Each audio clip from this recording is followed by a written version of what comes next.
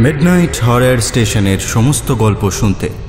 Subscribe করুন আমাদের YouTube চ্যানেলে শুনতে থাকুন অ্যালজেন্নান ব্ল্যাকউডের কাহিনী অবলম্বনে। গোপন সাধনা।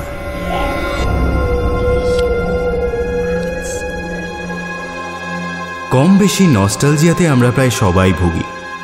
ফেলে আসা স্কুল, ফেলে আসা বন্ধু ক্লাসরুম কিংবা স্কেল হাতে স্যার স্কুলের পাশ দিয়ে যেতে যেতে এসবের কথা মনে পড়া নতুন কিছু নয়। এমনকি বহু বছর আগে ফেলে আসা ক্লাসরুমে গিয়ে পুরনো বন্ধুদের সঙ্গে আবার একবার সময় কাটাতে চাওয়ার মধ্যেও অস্বাভাবিক কিছু নেই। কিন্তু গণ্ডগোলটা তখন হবে। যদি সত্যি সেটা কোনোভাবে ঘটে যায়। যদি অতীত অবিকল আগের মতো রূপে আবার ফিরে আসে আমাদের সামনে।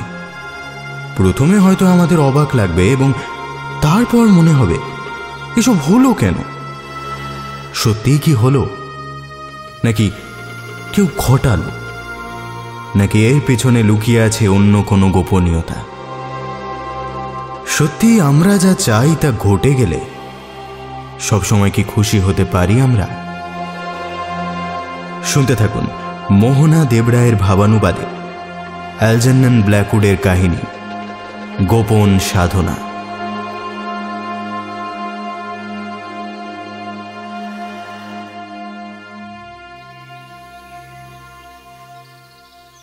জন সাইলেন্স মাঝে মধ্যেই কাঁধে ঝোলা নিয়ে বেরিয়ে পড়তেন।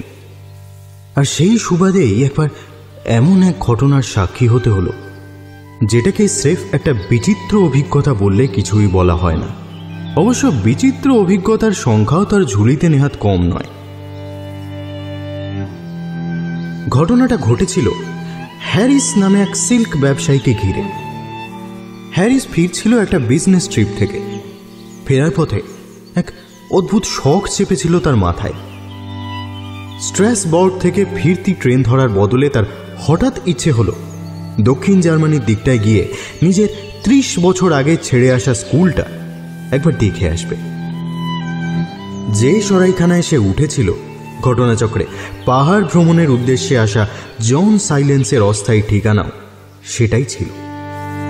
কাজেই ভাগ্য দুজনকে দেখা করিয়ে দিল।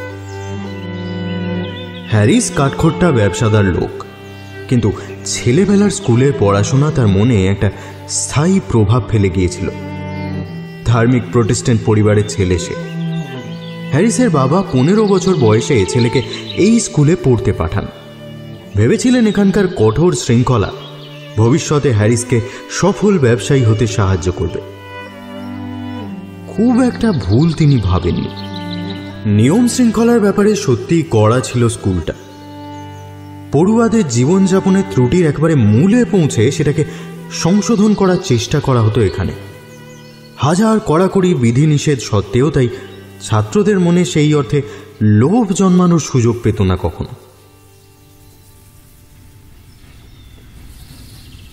পাহাড়ের পাকদণ্ডি বেয়ে ট্রেনটা যতই ওপরে উঠছিল, জলপ্রপাতের বাষ্পের মতো স্মৃতি আচ্ছন্ন করে দিচ্ছিল হ্যারিসের চেতনাকে। দিনগুলো মন্দ ছিল না। বহির্জগতের সব বাধা বিপত্তি দুর্দশা থেকে যেন পাখির ডানা হয়ে তাদের আড়াল করে রেখেছিল স্কুল আর বোর্ডিং।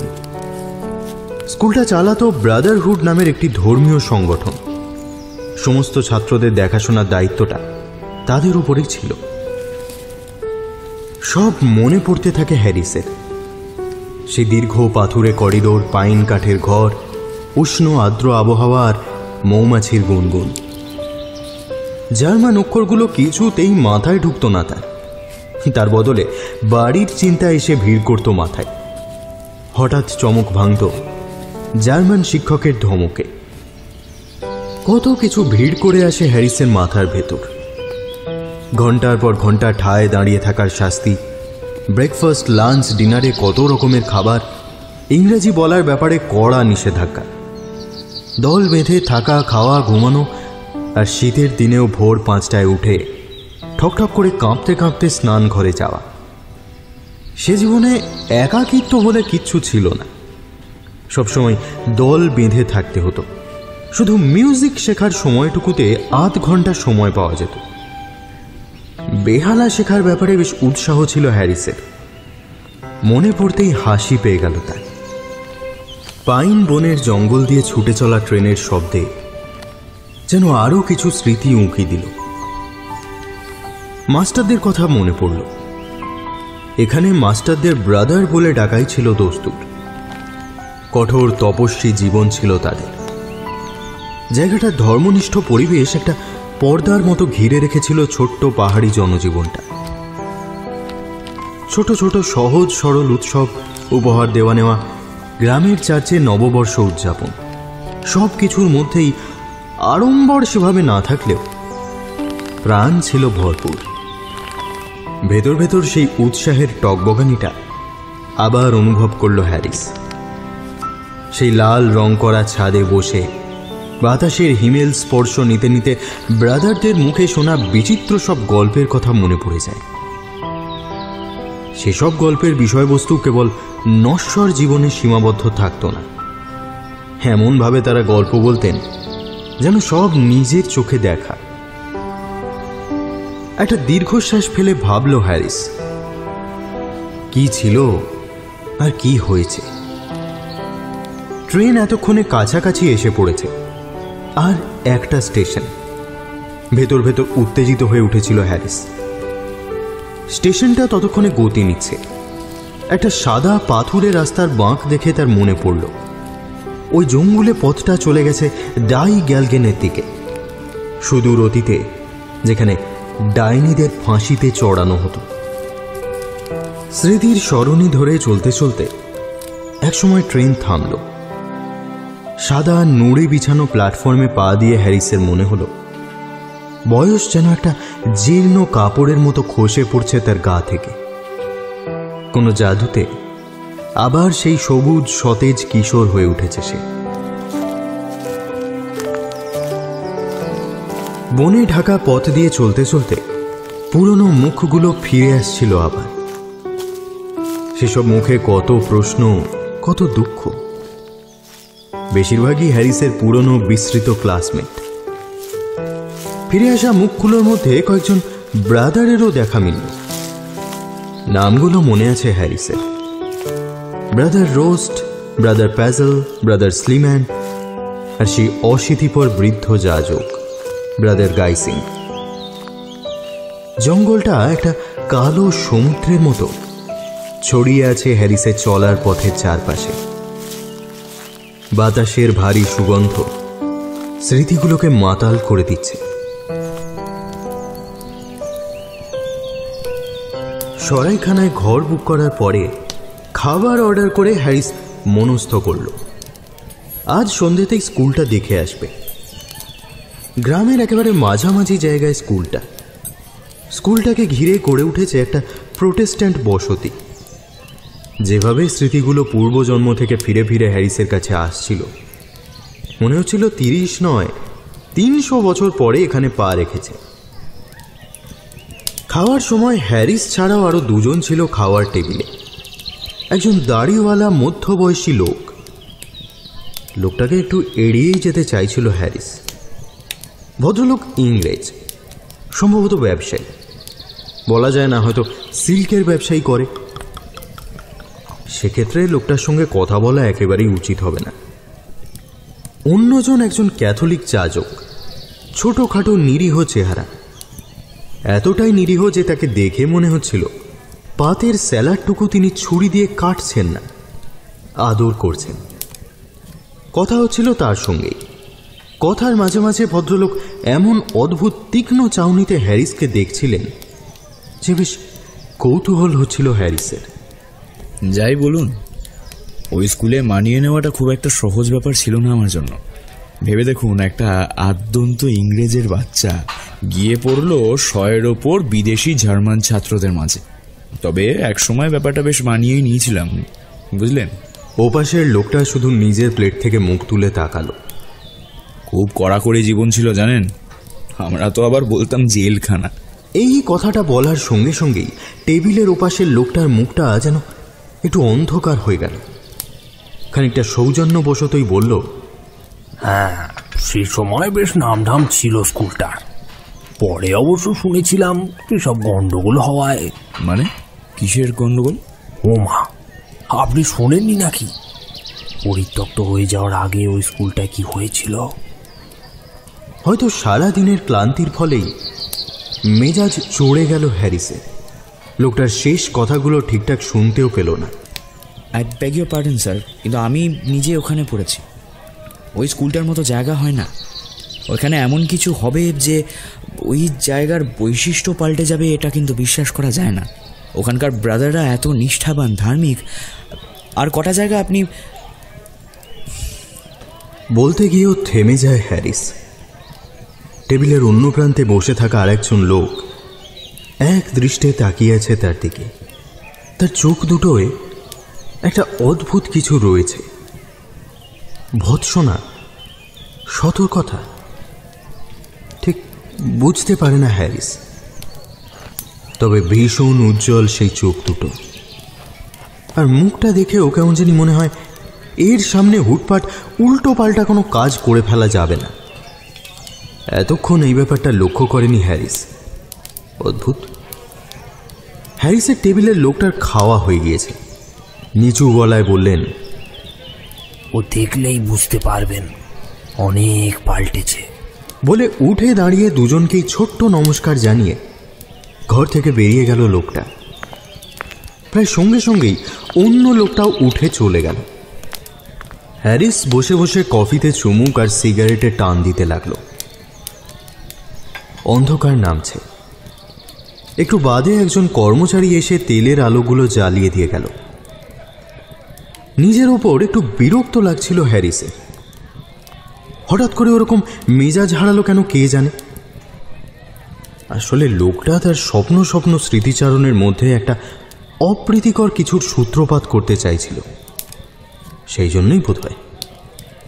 পরে একবার ব্যাপারটা মিটিয়ে নেওয়ার চেষ্টা করতে হবে।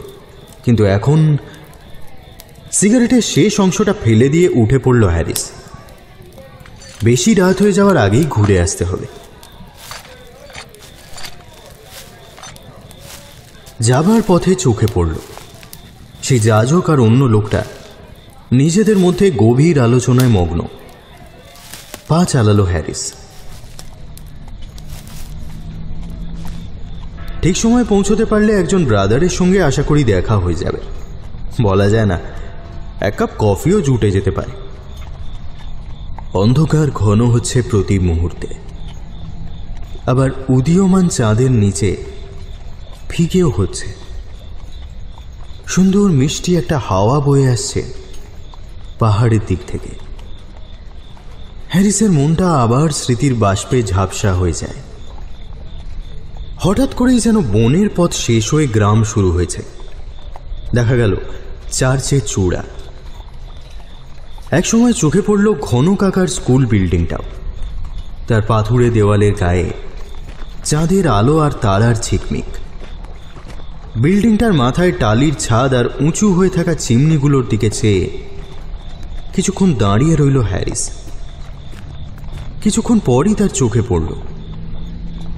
ব্রাদারদের ঘরের একটা জানলায় আলো দেখা যাচ্ছে। মনটা খুশি হয়ে উঠল তার। বারো ধাপ সিঁড়ি পেরিয়ে বিরাট কালো কাঠের দরজার সামনে এসে দাঁড়াল হ্যারিস। বিশাল এই দরজাটাকে দেখলেই একসময় ভীষণ ঘৃণা জাগত মনে। কিন্তু এখন দেখে এ যেন একটা ছেলে মানুষই আনন্দ চেপে ধরল তাকে। একটু দ্বিধা ভরেই কলিং বেলের দড়িটা টানল হ্যারিস। ভেতরে বেলের মিষ্টি সুরেলা টুংটানটা কানে আসতেই আবার একরাশ স্মৃতির ঝরা পাতার ওপর দিয়ে বাতাস বয়ে গেল। কেঁপে উঠল হ্যারিস। ঠিক যেমন রূপকথার গল্পে হয়। ঘণ্টার আওয়াজ পর্দা সরে যাওয়া, তারপর মঞ্চের ওপর এক রাস ছায়ার আবির্ভাব। জীবনে কখনো এত আবেগপ্রবণ অনুভব করেনি হ্যারিস। নিজেকে তার সেই ছায়ারই একটা অংশ বলে মনে হলো। যেন কোনো এক অচেনা পৃথিবী থেকে সে উপস্থিত হয়েছে। এই ছোট্ট নিস্তরঙ্গ জীবনটায়। বেশ কিছুক্ষণ অপেক্ষা করে আবার দড়িতে টান দিল হ্যারিস। এবার দরজাটা আস্তে আস্তে খুলে গেল। দরজার ওপারে একজন মানুষ দাঁড়িয়ে, বেশ লম্বা, গম্ভীর চেহারা, নীরব। মাফ করবেন, বেশ রাত হয়েছে। আসলে আমি সদ্য এসে পৌঁছেছি। ইচ্ছে হলো পুরনো স্কুলটা একবার দেখে যেতে। আমি এখানকারই ছাত্র ছিলাম সেই সত্তরের দশকে। ওপাশের লোকটা দরজাটা আরেকটু খুলল। তার মুখে একটা উষ্ণ আপ্যায়নের হাসি। একটু ঝুঁকে নমস্কার জানিয়ে বললেন আমি ব্রাদার কাল্কম্যান সেই সময়টায় আমিও এখানে মাস্টার ছিলাম। পুরনো ছাত্রের হঠাৎ দেখা পাওয়ায় যে কি আনন্দ হচ্ছে। হ্যাঁ, তুমি আসায় খুব ভালো হলো। এসো ভিতরে এসো। আমারও খুব আনন্দ হচ্ছে জানেন? সেই চেনা করিডোর। দরজা বন্ধ হয়ে যাওয়ার ধড়াম শব্দ। সবকিছুই যেন হ্যারিসকে অতীতের চাদর দিয়ে মুড়ে দিল। লোকটার দিকে তাকালো হ্যারিস। ভদ্রলোক হাসি ফিরিয়ে দিলেন ম্লানভাবে। তারপর পথ দেখিয়ে নিয়ে চললেন। পড়ুয়ারা সবাই শুতে চলে গেছে। জানো নিশ্চয়ই, আমরা একটু তাড়াতাড়ি খাওয়া দাওয়ার পাট চুকিয়ে দিই। তবে ঘুমাই না। ভালো কথা, তোমাকে কিন্তু এক কাপ কফি খেয়ে যেতে হবে। বলা যায় না একটা পুরনো মুখও তুমি খুঁজে পেতে পারো। ওই সময়ের অনেক ছাত্রই বর্তমানে এখানে মাস্টার হিসেবে রয়েছে। এক মুহূর্তের জন্য হ্যারিসের মনে হলো লোকটার দু চোখে কি যেন খেলে গেল। কিছু একটা খুব অদ্ভুত। কিন্তু না ওটা বোধহয় স্রেফ আলো ছায়ার কারসাজি। হ্যারিস আমল দিল না। আহ এখানে ফিরতে পেরে কি যে ভালো লাগছে আপনি কল্পনাও করতে পারবেন না। আচ্ছা বলতে বলতে চলা থামিয়েছে হ্যারিস। ওটা একটা মিউজিক রুম না? কতদিন ওখানে বেহালা বাজিয়েছি। একটা দরজার কাঁচের ভেতর উঁকি মেরে সে বলল আচ্ছা সেই অর্কেস্ট্রা এখনও হয়? ব্রাদার কাল্কম্যানও দাঁড়িয়ে পড়েছেন। একটা প্রশ্রয়পূর্ণ দৃষ্টিতে তিনি তাকিয়ে আছেন হ্যারিসের দিকে। আমার হাতে একটা ভায়োলিন থাকতো। আর ব্রাদার স্লিম্যান, উনি বসতেন পিয়ানো। আহ, সবটা যেন চোখের সামনে দেখতে পাচ্ছি। তার সেই কালো লম্বা চুল আর আর বলতে বলতে আবার থামতে হলো হ্যারিসকে। সেই অদ্ভুত চাউনিটা নিঃশব্দে আবার খেলে গেছে তার সঙ্গীর মুখে। এবার কেমন চেনা চেনা লাগে সেটা। ছেলেদের অর্কেস্ট্রা এখনও হয়। তবে ব্রাদার স্লিমান এখন আর বেঁচে নেই।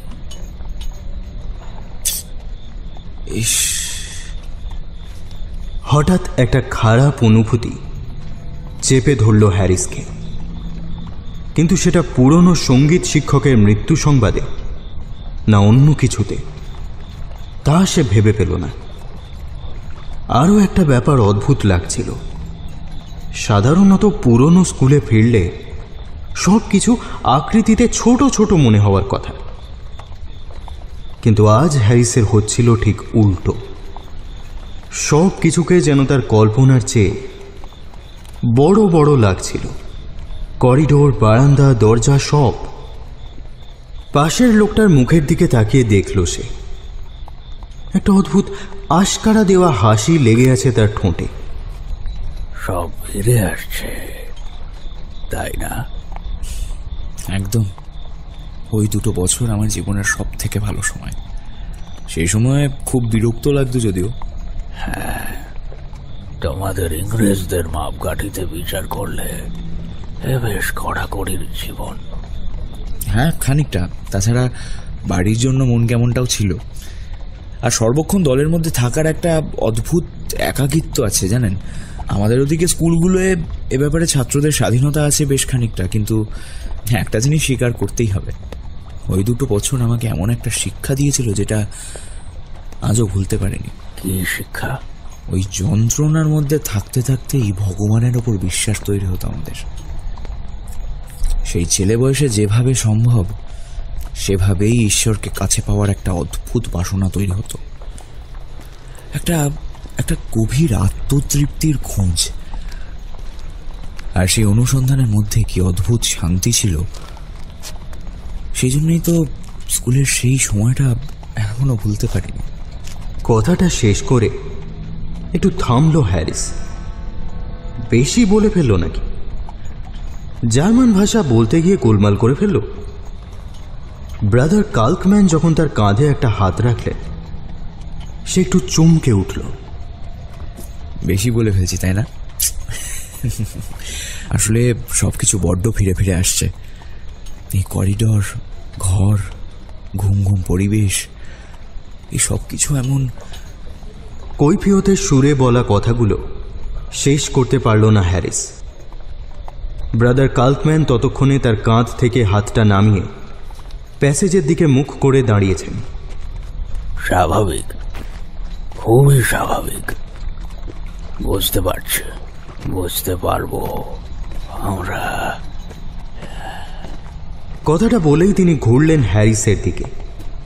পলকের জন্য হলেও খুব বিশ্রী ধরনের অশুভ দেখাল সেই মুখ।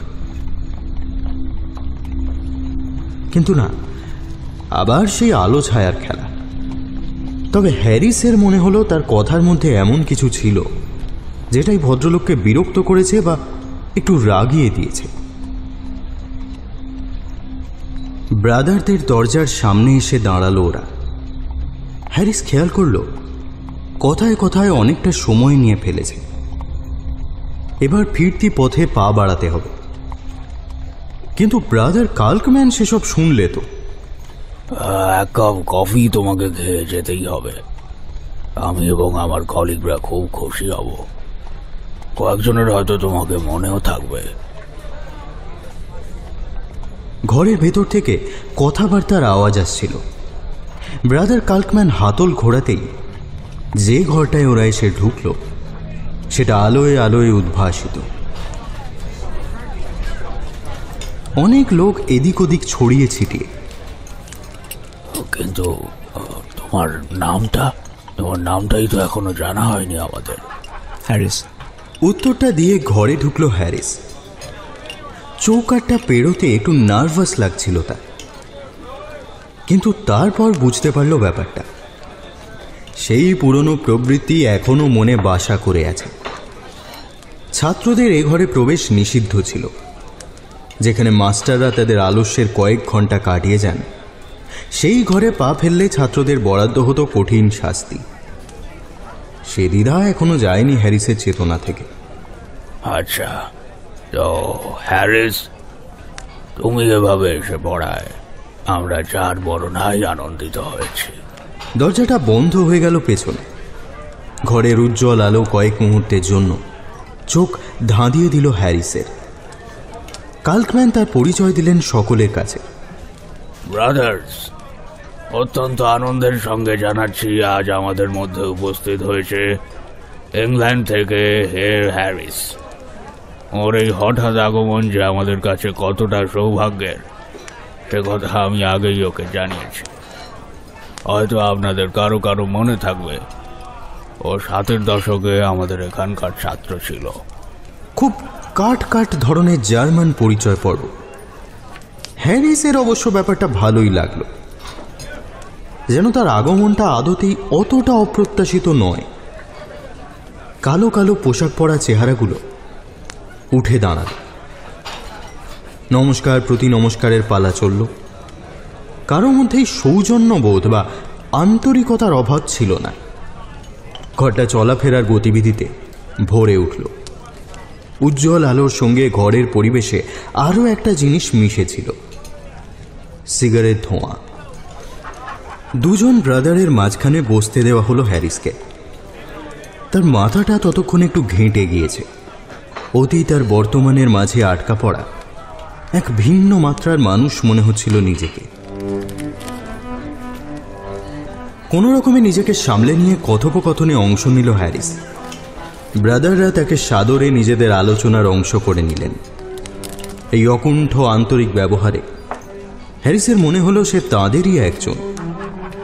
আরেকটা ভাবনা বেশ খুশি করে দিল তার মনটা। এই মুহূর্তে তার মনে হচ্ছিল, বাইরের সেই লোভী, কদর্য, মুনাফা সর্বস্ব রেশম ব্যবসার জগতের থেকে আচমকাই একটা অপ্রত্যাশিত ছুটি পেয়ে গেছে। তার নিজের পৃথিবীতে নিজের আত্মার দিকে তাকানোর সুযোগ বড়ই কম। ধীরে ধীরে একটা অনুশোচনা মাথাচাড়া দিচ্ছিল তার মধ্যে। সিগারেট ধোঁয়ার মধ্যে দিয়ে চারদিকের মুখগুলো দেখছিল হ্যারিস। এই ধোঁয়াটাও তার বড় পরিচিত। একটা তীব্র সমাহিত ভাব রয়েছে এর গন্ধে। কয়েকটা মুখও যেন চেনা চেনা লাগল। মুখগুলোর গাম্ভীর্য আপোষহীন অভিব্যক্তি মুগ্ধ করেছিল হ্যারিসকে। কেউ কেউ ওর দিকে এক বিস্ময় বিমুগ্ধ দৃষ্টি নিয়ে তাকিয়েছিল। খানিকটা অহংকারী হচ্ছিল ওর। কফিটা ভারী সুন্দর। যে ব্রাদার পিয়ানো বাজাচ্ছিলেন তিনি উঠে এসে পরিবেশন করলেন। ভদ্রলোকের সঙ্গে সেই মৃত সংগীত শিক্ষক ব্রাদার স্লিম্যানের অদ্ভুত মিল। চুলটাও কালো। তার হাত থেকে কফিটা নিতে গিয়ে হ্যারিসের মনে হলো, ভদ্রলোকের হাতগুলো যেন মহিলাদের মতো। ওর পাশে বসা ব্রাদার ওকে একটা সিগার দিয়েছিলেন। দেশলাইয়ের আলোতে ভদ্রলোকের মুখটা অনেকটা পুরনো ব্রাদার প্যাজেলের মতো লাগল। সত্যি? কি অদ্ভুত। কত মিল। হ্যাঁ বুঝতে পারছি। আমাদের মুখের জায়গায় তাদের মুখগুলোই ভেসে উঠছে তোমার মনে। তাই তো? ওরা দুজনেই হেসে উঠল। কেউ অন্তত ওর মনের অবস্থাটা বুঝতে পারছে ভেবে। একটু নিশ্চিন্ত লাগল হ্যারিসের। একসময় ওদের প্রসঙ্গ ঘুরে গেল। আধ্যাত্মিক বোধের বিকাশের জন্য যেই পাহাড় ঘেরা গ্রামের বিচ্ছিন্ন পরিবেশ কতটা উপযুক্ত সেই নিয়েই আলোচনা চলল। এর হ্যারিস আপনাকে পেয়ে আমরা যে কি খুশি হয়েছি কি বলব? আমার দিক থেকে কারণটা কিন্তু নিছকই সেই পুরনোকে খুঁজে পাওয়া বা খুঁজে পাওয়ার চেষ্টা করা। এক ধরনের নস্টালজিয়া বলতে পারেন। তা ঠিক কথা কিন্তু পুরনো স্কুলে এরম হুট করে এসে পড়া সকলের তো সাহসে কোলাবে না হুম? আসলে বেশিরভাগ লোকজন নিজের নশ্বর জীবনের প্রতি এতটাই অনুরক্ত যে নিজের বিশ্বাস অবিশ্বাস এত সহজে ছেড়ে দেওয়া তাদের পক্ষে সম্ভব নয়। একটু অস্বস্তি লাগল হ্যারিসের। এই সামান্য দেখা করতে আসাটুকুকে খুব মনে নিয়ে ফেলেছে এই লোকগুলো। আলোচনাটাও যেন একটু একটু করে তার নাগালের বাইরে বেরিয়ে যাচ্ছে।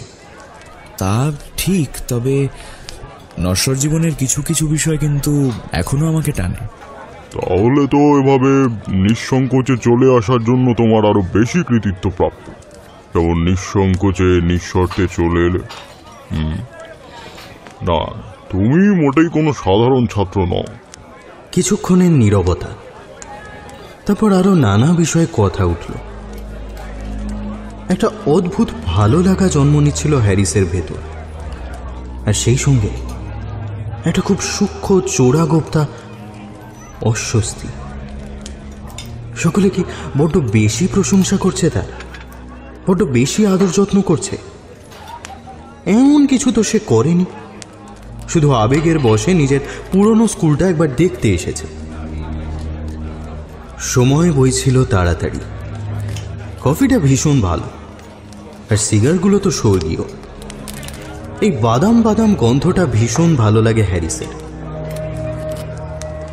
কিন্তু এদের আতিথ্যের বোধহয় একটু বেশি সুযোগ নিয়ে ফেলেছে হ্যারিস। এবার তার ওঠা দরকার। ভাবতে ভাবতে অনিচ্ছা সত্ত্বেও সে উঠে দাঁড়ায়। কিন্তু প্রবল আপত্তি ভেসে আসে ব্রাদারদের তরফ থেকেই। এ এখনই উঠলে যে? রাত তো বেশি হয়নি। এমন হলে না হয় আমরা তোমাকে একটা ঘরেরও বন্দোবস্ত করে দিতে পারি। ওপরে অনেকগুলো ঘর তো ফাঁকাই পড়ে আছে।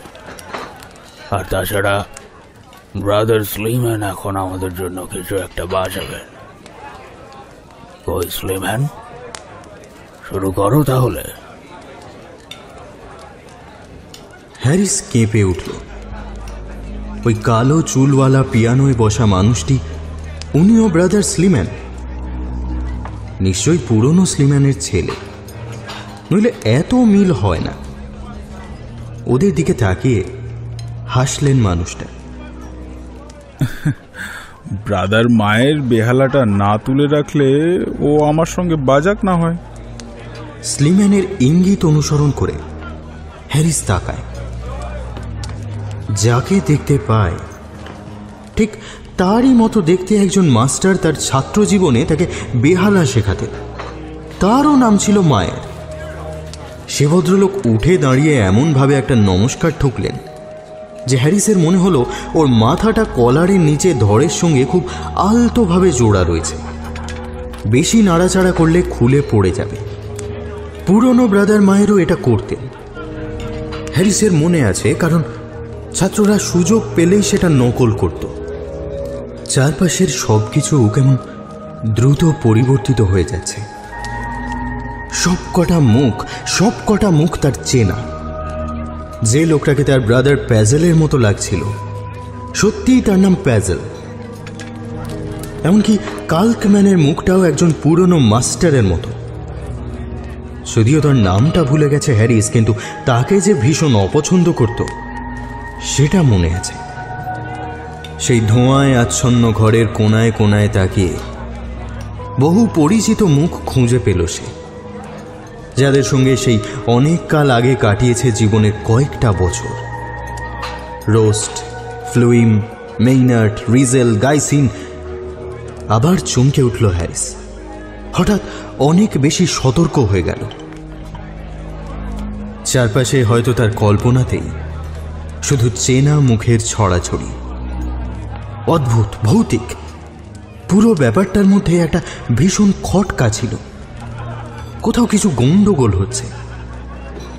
নিজের শরীরটাকে একবার ঝাঁকিয়ে নিল হ্যারিস।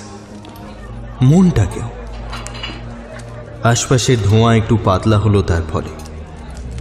তাতেই সে দেখতে পেল, তার চারপাশের সবকটা মুখ নিষ্পলক দৃষ্টিতে তার দিকেই তাকিয়ে। নিজেকে যতটা সম্ভব সামলে নিল হ্যারিস। সে ইংরেজ। এদের সম্মাননীয় অতিথি। যাই হোক না কেন, ভুলভাল কিছু সে করবে না। ইতিমধ্যে মিউজিকও শুরু হয়ে গেছে। ব্রাদার স্লিম্যানের লম্বা সাদাটে আঙুলগুলো যেন আদর করছে পিয়ানোর কিগুলোকে। হ্যারিস একটা চেয়ারে বসে পড়ে। আধ বোঝা চোখে ধূমপান করতে লাগল। তার অর্ধেক খোলা চোখের পাতার ফাঁক দিয়ে ঘরের সমস্তটাই দেখতে পাচ্ছিল। কিন্তু সেই শিরশিরানিটা কিছুতেই তাকে ছেড়ে যেতে চাইছিল না। বারবার তার বোধের নাগালের বাইরে থেকে কিসের যেন ইঙ্গিত, তার দেহ মনকে একেবারে পুলকিত করে তুলছিল। ভয়ঙ্কর অস্বস্তি হতে শুরু করেছিল হ্যারিসের। পিয়ানোর সুরটা উঁচু তার ধরতেই মাথাটা আস্তে আস্তে পরিষ্কার হতে শুরু করল তার। চোখের সামনে থেকে যেন একটা পর্দা সরে গেল। রেলের সেই সরাইখানায় দেখা হওয়া যাজকের কথাগুলো কানে ভেসে উঠল তার। ও দেখলেই বুঝতে পারবেন অনেক পাল্টেছে। কেন কে জানে সেই উজ্জ্বল চোখওয়ালা লোকটার কথাও মনে এলো পকেট থেকে ঘড়ি বের করল হ্যারিস। এগারোটা বাজে। দু ঘণ্টা কেটে গেছে ইতিমধ্যেই। স্লিম্যান কিন্তু বাজিয়েই চলেছেন। মনে হচ্ছে তিনি আর এই জগতে নেই। কি অদ্ভুত সেই সুর। একটা গম্ভীর ভাব। এক ধরনের প্রাণময় আধ্যাত্মিক সংবেদ। সব কিছু মিলেমিশে যাচ্ছে সেই সুরে। কিন্তু তবু কোথাও যেন সেই সুর ভয়ানক অশুদ্ধ। একটা নারকীয় অপবিত্রতা যেন বাতাসে ভেসে বেড়াচ্ছে সেই সুরের সঙ্গে। চেনা কিছুর সঙ্গে মিল নেই সুরটা ঘরের মধ্যে সে খেলে বেড়াচ্ছে সাপের মতো।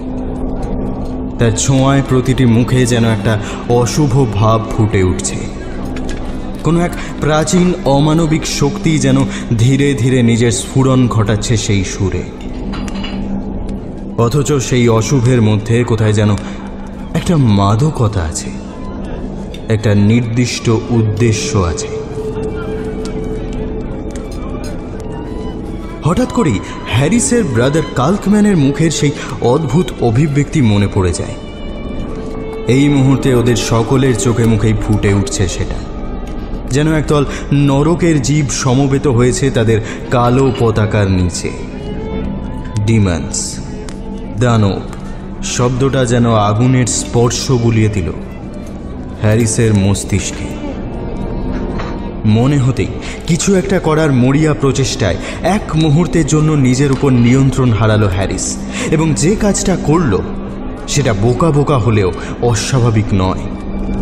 উঠে দাঁড়িয়ে চিৎকার করতে শুরু করল সে। ব্যাপারটা তাকে নিজেকেও অবাক করল, অভিভূত করল, কিন্তু তবু নিজেকে আটকাতে পারল না। কারও কোনো ভাবান্তর দেখা গেল না।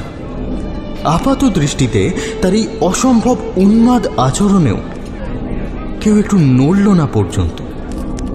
যেন হ্যারিস নিজে ছাড়া আর কেউই শুনতে পায়নি সেই মরণপণ চিৎকার। তারপর সেই ভাবলে হীন পাথুরে মুখগুলোর দিকে চেয়ে। যেন হঠাৎ আবেগে ভাঁটা পড়ল তার একটা অদ্ভুত শীতলতা গ্রাস করল হ্যারিসকে। বিব্রত, লজ্জিত মুখে সে বসে রইল। নিজের উপরই রাগ হচ্ছিল খুব। হঠাৎ এরকম উগ্র, অস্বাভাবিক ছেলে মানুষই আচরণ করার জন্য। স্লিম্যানের সাদাটে আঙুলগুলো থেকে কিন্তু অনর্গল সুর নির্গত হয়ে চলেছে। ঠিক যেমন সরু মুখওয়ালা বোতল থেকে বেরিয়ে আসে বিষাক্ত মদ। আর হ্যারিসও বাকিদের সঙ্গে সঙ্গে সেটা পান করছে। না না, এই সব কিছু তার মনের ভুল। এক সময় বাজনা থেমে গেল সবাই আবার স্বাভাবিকভাবে কথাবার্তা শুরু করল। যেন একটু আগে অস্বাভাবিক কিছুই হয়নি। এত যত্ন করে আমাকে আপ্যায়ন করার জন্য যে কি বলে আপনাদের ধন্যবাদ দেব জানি না। কিন্তু এবার সত্যিই দেরি হয়ে যাচ্ছে আমার। তাছাড়া বেশ খানিকটা পথ হেঁটে সরাইখানা পৌঁছাতে হবে। সকলে হৈ হৈ করে প্রতিবাদ জানালো। এমনকি এই দাবি পর্যন্ত উঠল যে হ্যারিসকে রাত্রের খাওয়াটা সেরে যেতে হবে। রাত্রে কি কি খাওয়া হবে তার ফিরিস্তি পর্যন্ত দেওয়া হয়ে গেল। এর মাঝেই আবার ব্রাদার মায়ের তার বেহালায় টান ধরলেন। ওপরে শোয়ার বিছানারও অভাব নেই যদি হের হ্যারিস চান। আর এখান থেকে বেরোনো তো মুশকিল সব দরজা তো বন্ধ হয়ে গেছে। আরে যেমন চলছে চলুক না। দাদার আবার কবে এখানে আসবে তার কোনো ঠিক আছে? নানা রকমের অজুহাত সাজালো তার। নিজেদের মধ্যে হাসাহাসি করতে লাগল। সবটাই যেন একটা ছল একটা ভান যেন এই আপাত ভদ্রতার নিচে অন্য ধরনের কোনো অর্থ লুকিয়ে আছে। মাঝরাত হয়ে এসেছে। একটা সম্মোহনী হাসি ছুড়ে দিলেন ব্রাদার কাল্কম্যান। তার গলার স্বরটা হ্যারিসের ইংরেজ কানে লোহার শিকলের ঝনঝনানির মতো শোনাল ওদের বলা জার্মান বুঝতে যেন প্রতি মুহূর্তে বেশি বেগ পেতে হচ্ছিল। তাছাড়া এই মাত্র কি বলে ডাকলো ওরা হ্যারিসকে? ব্রাদার এমনভাবে ডাকলো যেন হ্যারিস ওদেরই একজন হয়ে গেছে। হঠাৎ উপলব্ধির পর উপলব্ধি বিদ্যুৎ চমকের মতো অক্লান্তভাবে ঝাপটা মেরে চলল থাকে সে সব কিছু ভুল বুঝেছে। এদের সব কথা, আচার, ব্যবহার সব কিছুতে বড় বড় ভয়ানক ভুল বুঝেছে। বহির্জগৎ থেকে প্রায় বিচ্ছিন্ন এই গ্রাম্য পরিবেশে। কোনো বিশেষ ধরনের আধ্যাত্মিক উপাসনার কথা বলছিল ওরা। কি ধরনের উপাসনা? যে ধরনের আধ্যাত্মিক শক্তির কথা ওরা বলছিল, নির্জনতার কথা বলছিল, উপাসনার কথা বলছিল, সেগুলোর কোনোটাই তো হ্যারিস যা বুঝেছিল। তা নয়। আগাগোড়া হ্যারিস বুঝতেই পারেনি সে সত্যিই একটা নাটকের অংশ হয়ে পড়েছে। যে নাটকের জন্য এরা বসেছিল মঞ্চ সাজিয়ে। এরা, যারা ধার্মিকতার ছদ্মবেশে আড়ালে লুকিয়ে রাখে মানুষের বোধের অগম্য সব উদ্দেশ্য। কিন্তু এরকম একটা অনর্থের মাঝখানে কীভাবে এসে পড়ল হ্যারিস?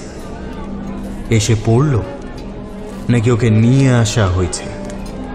ইচ্ছাকৃতভাবে, সুচিন্তিতভাবে। ক্রমেই চিন্তাভাবনা সব ঘেঁটে যাচ্ছিল তার। আর কেন? কেনই বা এরা তার এইটুকু একটা ছোট্ট সাধারণ কাজে এতটা খুশি হলো? বারবার করে, এখানে আসার সাহসের কথা কেন তুলছিল এরা? আর কি যেন বলছিল? নিঃসংকোচে, নিঃশর্তে, এসব কথার মধ্যে একটা চোরা বিদ্রুপ লুকিয়েছিল না? এর কোনো প্রশ্নের উত্তর তার কাছে নেই। ভয় ততক্ষণে একটা ময়াল সাপের মতো পেঁচিয়ে ধরেছে তার শরীর মন। অসাড় করে দিচ্ছে তাকে। শুধু একটা কথা সে স্পষ্ট বুঝতে পারছে। এরা ওকে এখানেই রেখে দিতে চায়। ওকে যেতে দিতে চায় না। ও বুঝতে পারল, এরা ভালো নয়, শুভ নয়, এরা ক্ষতিকর। একটু আগে কি বলছিল যেন? আবার কবে আসবে, আদৌ আসবে কিনা? কথাগুলো যেন আগুনের অক্ষরে। ভেসে উঠল হ্যারিসের চোখের সামনে। হ্যারিস সেই অর্থে বিপদে পড়েনি এর আগে। অন্তত এরকম বিপদে তো নয়। তাই সে ভীতু না সাহসী, সে কথা তার নিজেরও স্পষ্ট জানা ছিল না। তার উপর তার মাথাটা গিয়েছিল সম্পূর্ণ ঘেঁটে। একবারও মনে হলো না যে এই ব্রাদারদের সকলেই হয়তো বদ্ধ উন্মাদ। কিংবা সে নিজেও সাময়িকভাবে বিকারগ্রস্ত হয়ে পড়েছে এই পরিবেশের মধ্যে। যুক্তি সাজাবার মতো অবস্থায় ছিল না তার মস্তিষ্ক। প্রবৃত্তি তাকে শুধু একটা কথাই বলছিল। পালাও! যত তাড়াতাড়ি সম্ভব এখান থেকে পালাও! সেই মতো আর একটাও কথা না বলে কোনো রকমে কফি আর তার সঙ্গে হালকা খাবারগুলো শেষ করে সে উঠে দাঁড়াল। আরেকবার তার বিদায়ের কথা ঘোষণা করল। খাওয়ার সময়টুকু অবশ্য যথাসম্ভব সাধারণ আচরণই করার চেষ্টা করেছে। ভাবতেই খারাপ লাগছে এই সুন্দর সন্ধ্যাটাকেও একসময় শেষ হতে হচ্ছে। কিন্তু এবার আমায় বিদায় নিতে হবে। আপনাদের এই আন্তরিক আপ্যায়ন আমি সারা জীবন মনে রাখব। বরং উল্টোটা। চেয়ার ছেড়ে উঠে দাঁড়াতে দাঁড়াতে বললেন কাল্কম্যান আমরাই আদতে তোমার কাছে কৃতজ্ঞ। অন্তত দশ বারো জন ব্রাদার হ্যারিস এবং দরজার মাঝখানে এসে দাঁড়াল। অনেক ধন্যবাদ আপনাদের। ভাবতেই পারিনি যে স্রেফ ঘটনাচক্রে ঘটে যাওয়া এই সাক্ষাতে আপনারা এত খুশি হবেন। বলতে বলতে আরেক পা দরজার দিকে এগিয়ে গেল সে। কিন্তু তার দরজা অবধি পৌঁছানোর আগেই ব্রাদার কাল্কম্যান ঝট করে উঠে এসে দরজার সামনে দাঁড়ালেন। তার মুখের ভাবটা আপোষহীন নির্লিপ্ত। অন্ধকার। স্রেফ ঘটনাচক্র তো তুমি এখানে এসে পড়নি, ব্রাদার হ্যারিস। তোমার আসার কারণটা কিছুটা আন্দাজ করতে পেরেছি আমরা। প্লিজ আমাকে ভুল বুঝবেন না। আমার আসলে আমার আসলে একটু তাড়া। না, একেবারেই না। আমরা কোনো ভুল করছি না। যেরকম নিঃস্বার্থ নিষ্ঠা আর ভক্তি নিয়ে তুমি আমাদের মাঝে এসেছ, যেভাবে নিঃসংকোচে নিজেকে উৎসর্গ করেছ, সেই মহত্বকে কি অন্য কিছু বলে ভুল করার অবকাশ আছে? বলো। তুমি আমাদের সম্পূর্ণ ভরসা এবং সম্মান অর্জন করেছ। শুধু যে আমরা খুশি হয়েছি তাই নয়, আমাদের প্রভুও যে কি পরিমাণে খুশি হবেন, এই যে তুমি স্বেচ্ছায় স্বতঃস্ফূর্তভাবে নিজেকে আমাদের হাতে তুলে দিয়েছ। এর পরের শব্দটা ঠিকমতো বুঝতে পারল না হ্যারিস। একজন অফার হিসেবে। অপফার এই জার্মান শব্দটা সে আগেও শুনেছে। কিন্তু মানেটা এই মুহূর্তে কিছুতেই মনে আসছে না। পাগলের মতো মাথার ভেতর হাতড়াতে থাকল সে। শব্দটার ঝঙ্কারটা যেন তার চৈতন্যের কোনো গহন কোণে একটা ঠান্ডা স্পর্শ বুলিয়ে গেল। সত্যি। এমন একজন ইচ্ছুক অফার পাওয়া কি আর? চারটিখানি ব্যাপার। এবার কথা বলেছেন স্লিম্যান।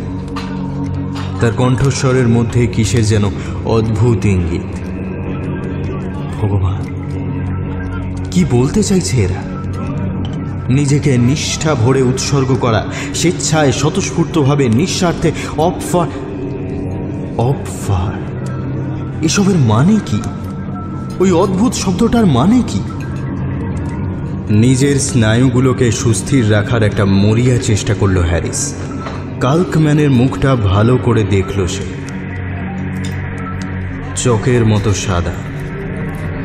কাল্কম্যান শব্দটার মানেটা হঠাৎই মনে পড়ে গেল তার। খড়ির মানুষ। কিন্তু অপফার যেন ওই মানেটার মধ্যেই লুকিয়ে আছে তার যাবতীয় প্রশ্নের উত্তর। তার ঘেঁটে যাওয়া বোধের ওপর অবিশ্রান্তভাবে বর্ষিত হয়ে চলেছে ওই একটি শব্দের প্রতিঘাত। কি অদ্ভুত! সারা জীবনে এত অদ্ভুত অদ্ভুত জার্মান শব্দের মানে সে জেনেছে, অথচ এই শব্দটা খুব সাধারণ একটা শব্দ। এর মানেটা বেরিয়ে গেছে ওর মাথা থেকে। কাল্কম্যানের মৃত্যুর মতো ফ্যাকাশে অবয়ব থেকে। আবার সেই লোহার শিকলের ঝনঝন শোনা গেল। ঘরের সকলে চঞ্চল হয়ে উঠল। আলোগুলো কমে এলো। সময় হয়ে গেছে মধ্যরাত্রে উপস্থিত।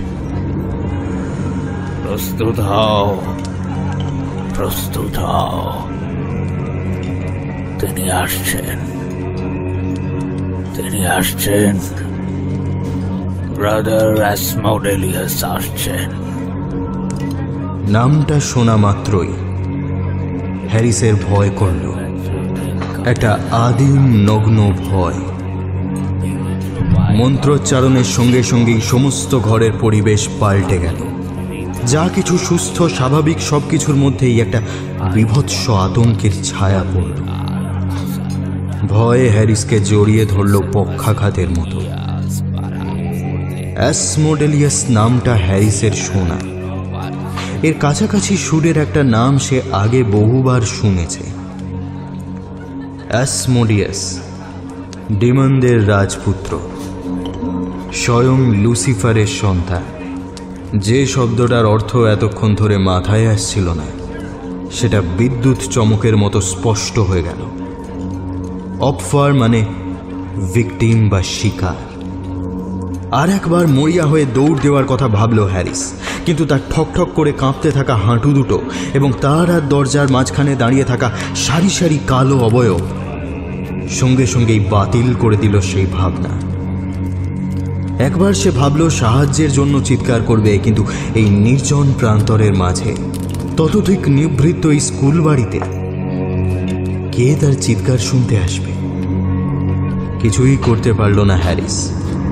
শুধু দাঁড়িয়ে রইল পুতুলের মতো। দুজন ব্রাদার এসে তাকে দুদিক থেকে চেপে ধরলেন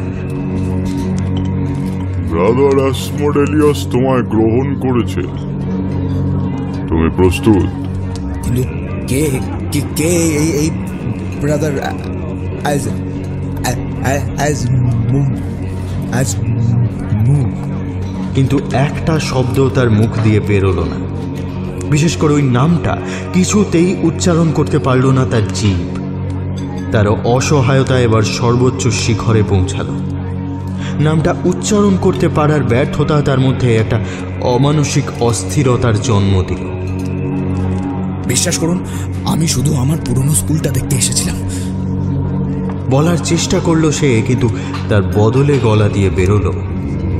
আমি স্বেচ্ছায় একজন অফার হিসেবে এখানে এসেছি। এবং আমি সম্পূর্ণ প্রস্তুত। নেই। আর কিচ্ছু তার নিয়ন্ত্রণে নেই। তার শরীরটা যেন কোনো অন্ধকার ছায়া জগতের বাসিন্দা। এমন একটা জগৎ যেখানে ওই নামটাই সমস্ত ক্ষমতার উৎস। এই অর্ধা আলোক যা সত্যকে ঢেকে রাখে এরই মধ্যে চলো আমাদের উপাসনা আরম্ভ করা যাক। তাকে ঘরের এক কোণে নিয়ে যেতে যেতে স্লিম্যান বললেন এই কুয়াশা জাড়াল করে রাখে মহান অন্ধকার সিংহাসনকে চলো এরই মধ্যে আরম্ভ করা যাক আমাদের উপাসনা। তিনি আসছেন। তিনি আসছেন। আসছেন। আসছেন তিনি আসছেন। তিনি আসছেন। ক্রমে সেই শব্দ এলো একটা অদ্ভুত ঠান্ডা যেন ছড়িয়ে পড়ছে সারা ঘর জুড়ে। কালকম্যান সকলের উদ্দেশ্যে বললেন আমাদের মাঝে এসে পড়েছেন অ্যাসমোটেলিয়াস প্রস্তুত হও। প্রস্তুত করো। তার কথার শেষে একজন ব্রাদার হ্যারিসের দিকে এগিয়ে এলো। কালকম্যান হাত তুলে বললেন ওর চোখ দুটো বেদনা। এভাবে স্বেচ্ছায় নিজেকে উৎসর্গ করার জন্য ওইটুকু সম্মান ওর প্রাপ্য। হ্যারিসকে সেখানে দাঁড় করিয়ে রেখেই ব্রাদাররা পিছিয়ে গেল। মাটিতে হাঁটু গেড়ে বসে পড়ল তার। সঙ্গে চলল তাদের সেই অদ্ভুত বিমুগ্ধ অভিভূত স্বরে মন্ত্রোচ্চারণ। আর সেই নামটার উচ্চারণ, যেটা একই সঙ্গে জন্ম দেয় ঘৃণা এবং ভয়। যে নামের মালিকের আবির্ভাবের জন্যই এত আয়োজন। ঘরের অন্য প্রান্তের দেওয়ালটা জানলা সমেত অদৃশ্য হয়েছে। সেখান দিয়ে দেখা যাচ্ছে ফাঁকা আকাশ। সেই আকাশের পটভূমিতে একটা অবয়ব জেগে উঠছে ধীরে ধীরে। একটা বিরাট অবয়ব। একটা মানুষের মতো অবয়ব। তার চারপাশে একটা ধূসর আলো যেন ইস্পাতের পাত দিয়ে মোড়া একটা মূর্তি। এই দূর থেকেও তার বিকট, বিশাল, অতিকায় চেহারাটা স্পষ্ট ধরা পড়ছে। কিন্তু তার মুখটা তার মুখটা এত গম্ভীর, এত সমাহিত, এত করুণ যে হ্যারিসের মনে হচ্ছিল, এই মুহূর্তে সে তার দৃষ্টিশক্তি হারাবে। এবং প্রকাণ্ড অতল মহাশূন্যে তলিয়ে যাবে মূর্তিটা ঠিক কত দূরে ছিল, তার আকার, আকৃতি, কিছুই খালি চোখে পরিমাপ করা সম্ভব হচ্ছিল না। যেন সবটাই একটা মস্ত বিভ্রম। শুধু চোখে পড়ছিল সেই করুণ ক্লিষ্ট মুখ আর সেই অপার্থিব ধূসর আভা। ধকধক করে জ্বলছে কোনো নারকীয় তুতিতে। এক এক সময় মনে হচ্ছিল আশপাশের ব্রাদারদের মুখগুলো হ্যারিসের থেকে যতটা দূরে আছে। সেই মুখটা তার চেয়ে বেশি দূরে নেই।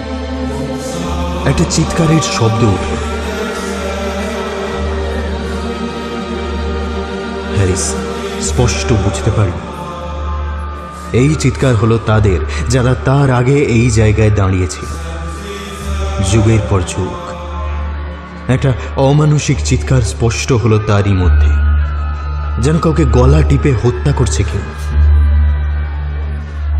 অসংখ্য লোকের দম বন্ধ হয়ে যাওয়ার মুহূর্তের মরিয়া সর্বহারা চিৎকার। ধাক্কা খেয়ে খেয়ে ফিরছে ঘরের দেওয়ালে। যে দেওয়ালের মধ্যে হ্যারিস এখন দাঁড়িয়ে আছে, সেই উন্মাদ উপাসনার বলি হয়ে, যেন শুধুমাত্র শরীরের চিৎকার নয়, নষ্ট হয়ে যাওয়া আত্মার চিৎকার। সেই সমবেত স্বরের উত্থান পতনের সঙ্গে চলছে সেই অর্ধালোকিত ঘর জুড়ে। অসংখ্য ছায়ামূর্তির আবির্ভাব। তারা ইশারায় ডাকছিল হ্যারিসকে, যেন নিজেদেরই কাউকে ডাকছে। ক্রমে সেই সব কিছু থেমে গেল। ছায়ামূর্তিগুলো অদৃশ্য হলো একে একে। সেই প্রকাণ্ড অবয়ব নেমে এলো ঘরের মধ্যে। তার উপাসক আর বন্দির মাঝখানে। হ্যারিস অনুভব করল, কিছু একটা পড়ানো হচ্ছে তাকে। কে পড়াচ্ছে সে জানে না। তার মাথাটাকে জড়িয়ে ধরছে একটা বরফ ঠান্ডা সুতোর প্যাঁচ কোমরে একটা কোমর বন্ধনী জাতীয় জিনিস। দুটো বাঁধা হাত সমেত। তারপর ঠিক তার গলায় যে রেশমের সুতোর ছোঁয়াটা লাগল তার উদ্দেশ্যটা বুঝতে এতটুকু অসুবিধা হলো না হ্যারিসের। ওই সুতো তার জীবন মৃত্যুর মাঝের ফাঁকটুকু পূরণ করে দেবে। ব্রাদাররা এখনও সেই রকম সাষ্টাঙ্গ হয়ে মাটিতে শুয়ে আছে। আবার শুরু হলো তাদের মন্ত্রপাঠ। কিন্তু ঘরে আরও একটা অদ্ভুত ব্যাপার শুরু হয়েছিল। সেই প্রকাণ্ড অবয়বটা একটুও না নড়েই যেন ঢুকে এসেছিল ঘরের মধ্যে। হ্যারিসের ঠিক সামনে। সে ঘিরে ফেলেছিল হ্যারিসকে। গিলে ফেলছিল। না, কোনো সাধারণ ভয়ের অনুভূতি নয়।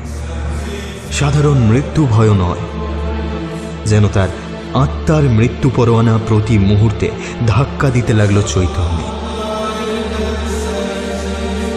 আর পালানোর কথাও মাথায় আসছে না।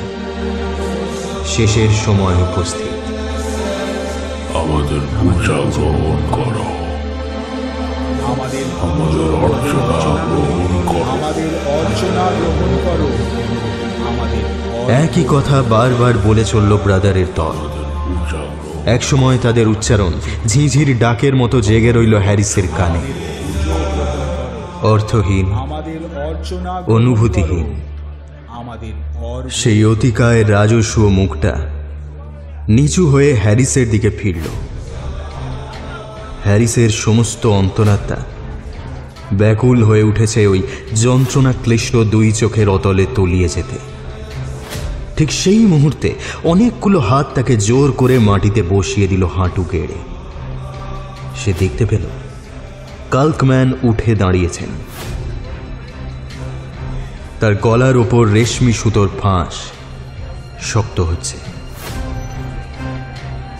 ঠিক সেই সময় একটা অদ্ভুত ব্যাপার ঘটল। এতক্ষণ ধরে পরপর যে ধরনের অদ্ভুত ব্যাপার ঘটে যাচ্ছিল, এই অদ্ভুতের প্রকৃতি তার চাইতে কিছুটা আলাদা। কোথা দিয়ে কি হয়ে গেল হ্যারিস জানে না, কিন্তু সেই প্রতি মুহূর্তে সংকুচিত হতে থাকা ফুসফুসের যন্ত্রণায় সংজ্ঞা হারানোর আগের মুহূর্তে তার চোখের সামনে ভেসে উঠল। রেলের সরাইখানায় দেখা সেই দ্বিতীয় লোকটার মুখ। সেই উজ্জ্বল চোখ দুটো।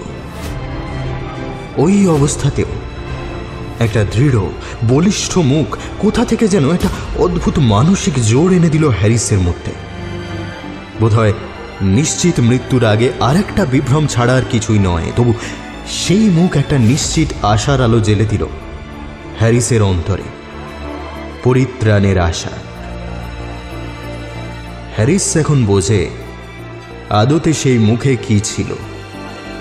কিছুই না, কেবল সহজ, সাধারণ সরলতা। পৃথিবীর যে কোনো প্রান্তে যুগে যুগে খুঁজে পাওয়া যায় এমন মুখ। এই মুখ মুছে দিতে পারে সমস্ত জাগতিক এবং মহাজাগতিক অমঙ্গল।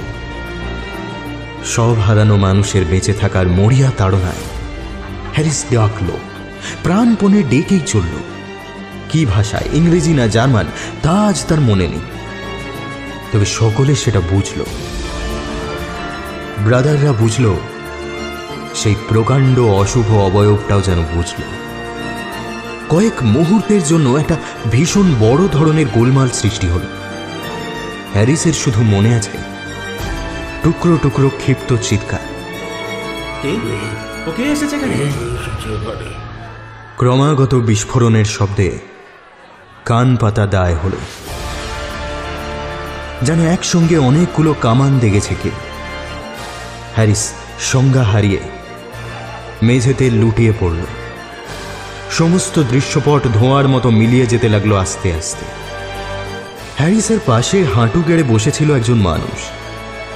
তার চেহারাটা মোটেই জার্মানদের মতো নয়। সরাইখানার সেই লোকটা, যার চোখ দুটো অদ্ভুত রকমের উজ্জ্বল।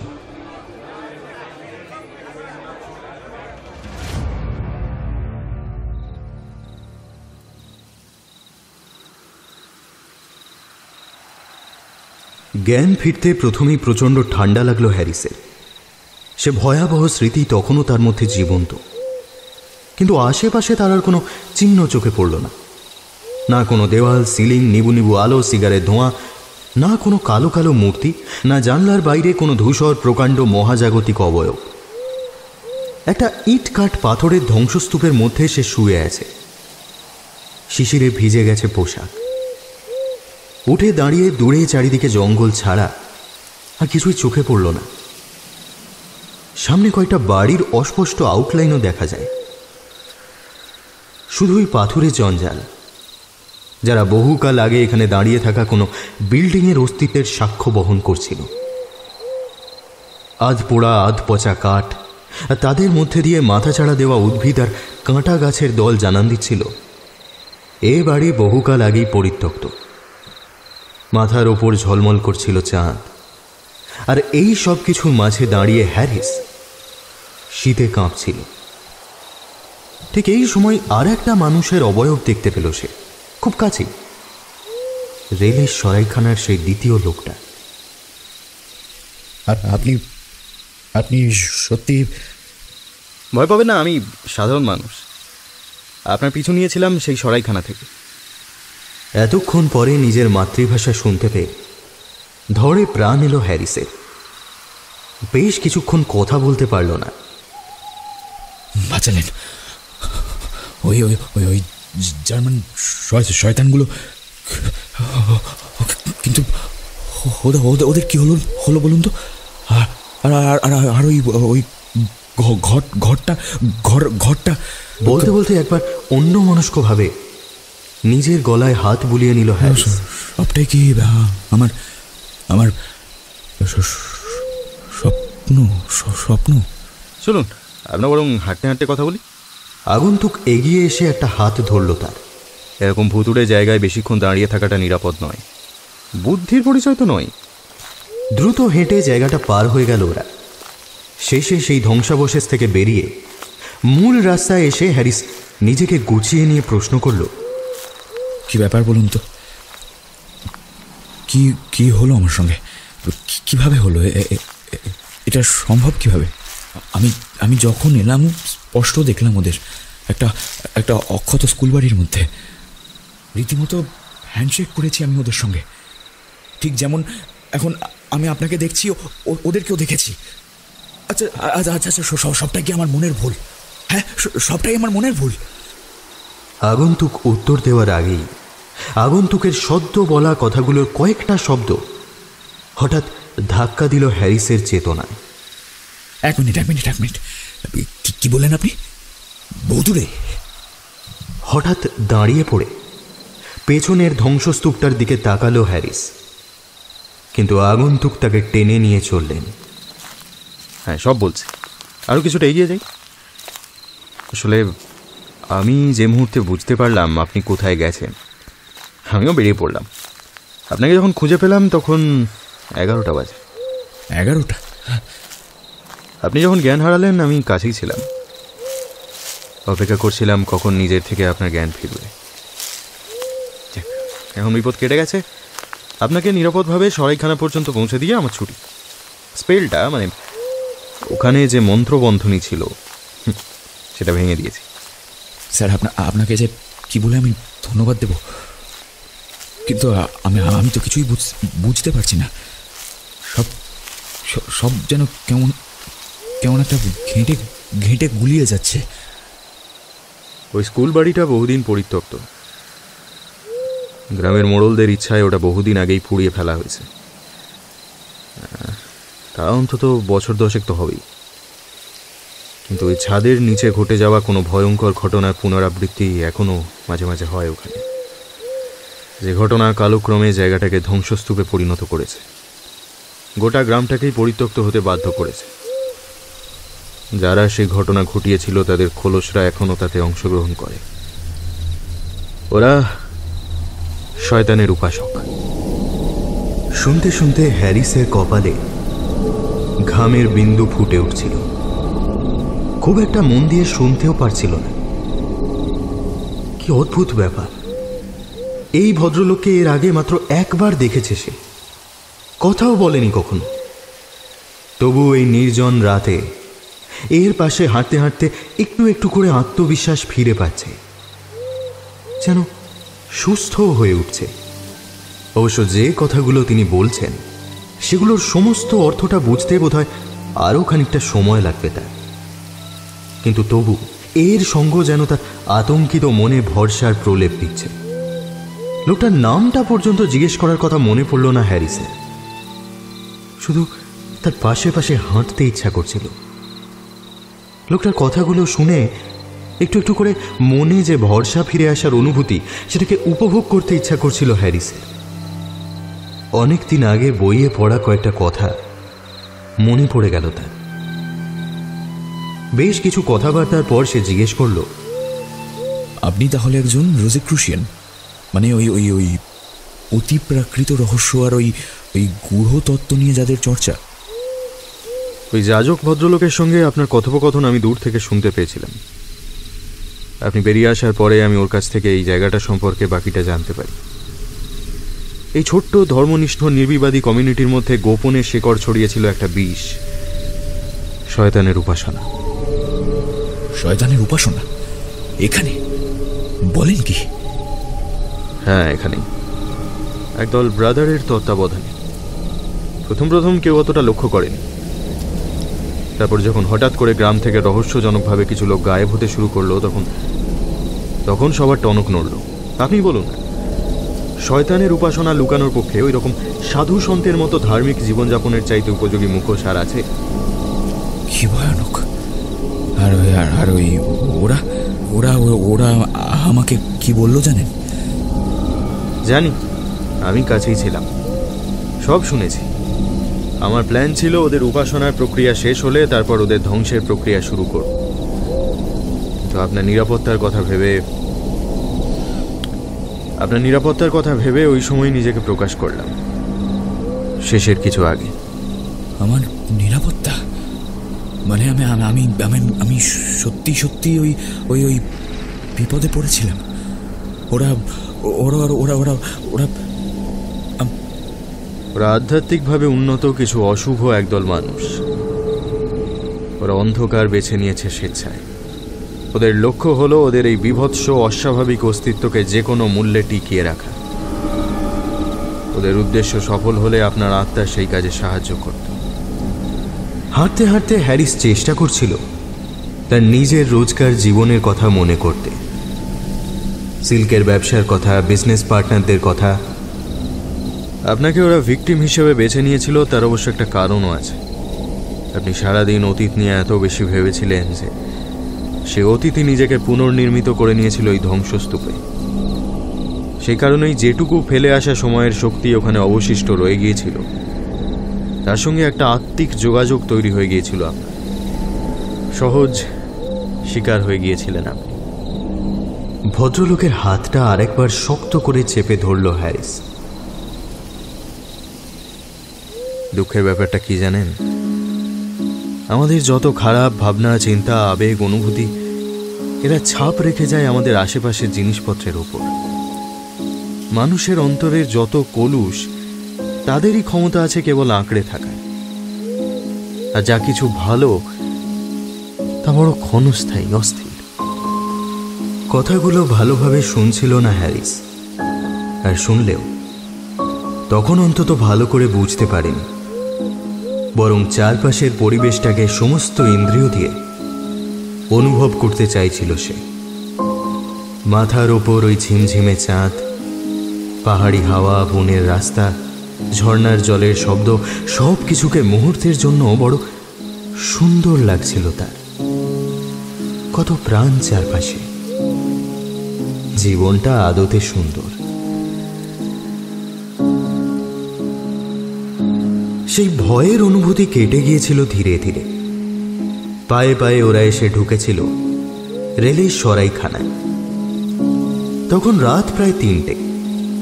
শুতে যাওয়ার আগে ভদ্রলোকের হাত দুটো ধরে আবারও এক প্রস্থ কৃতজ্ঞতা জানিয়েছিল হ্যারিস। সেই সময় তার সঙ্গে চোখাচুকি হওয়ায় আরেকবার তার মনে হয়েছিল, মানুষটার চোখ দুটো সত্যিই উজ্জ্বল। ভদ্রলোকের বলা শেষ কথাগুলো ভাবতে ভাবতে ঘুমের অতলে তলিয়ে গিয়েছিল সে। মনে রাখবেন, আমাদের আবেগ অনুভূতিগুলো যে তৈরি করে সেই নশ্বর মস্তিষ্কের ধুলোয় মিশে যাওয়ার বহু বছর পর অবধি সেই আবেগ অনুভূতি রয়ে যায়। তাহলে ভাবুন তো, যখন আমাদের হৃদয় সেই সব অনুভূতির জন্ম দেয়, তাদেরকে কতটা সতর্ক পাহারায় রাখা উচিত? সেই রাতে অনেক দিন পর একটা শান্তির ঘুম ঘুমালো হ্যারিস। অনেক বেলা পর্যন্ত বিছানা ছেড়ে উঠল না। শেষমেশ যখন নিচে এলো, সেই আগন্তুক ভদ্রলোক বিদায় নিয়েছেন। লোকটার নামটাও জানা হলো না। ভেবে বেশ খানিকটা অনুতাপ হলো তার। আচ্ছা কাল রাতে আমার সঙ্গে যে লোকটা ছিল, তিনি কোথায় গেছেন আপনি কিছু জানেন? রিসেপশনের মেয়েটি মাথা নাড়ে। তারপর ভিজিটারের খাতাটা টেনে নিয়ে বলে উনি তো কিছু বলে যাননি। কেবল নাম সই করে গেছেন। খাতার পাতা উল্টে লাস্ট এন্ট্রিটা দেখল হ্যারিস। খুব গোছানো হাতের লেখায় তিনটে শব্দ লেখা। John Silence London.